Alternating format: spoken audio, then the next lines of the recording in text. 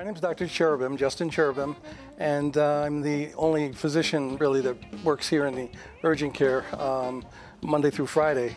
And uh, we see a little bit of everything. Um, our urgent care is uh, basically, we, we, try to be as close to an emergency department as we can, and, um, and it works. It works very well.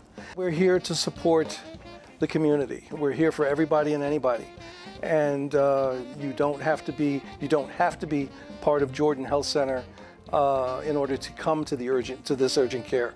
Uh, anybody can come in, and, and we welcome everybody.